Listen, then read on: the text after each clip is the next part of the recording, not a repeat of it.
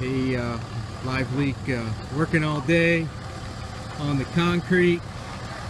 And uh, unfortunately wasn't blocked off very well. So uh, somebody feels real bad for not blocking it off. And another person feels like uh, like oh shit what the hell happened here? Imagine that. Sorry guy. Have a good day. There you go this is what you get when you don't follow the rules. That concrete sure is gonna dry awful funny. Those are some deep old ruts. Sorry amigo. Ciao